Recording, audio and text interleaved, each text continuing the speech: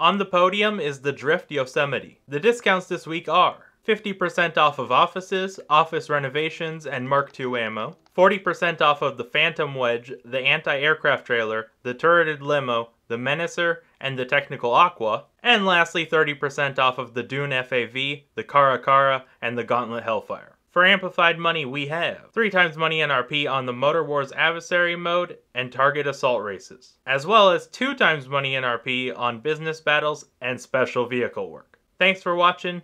Peace.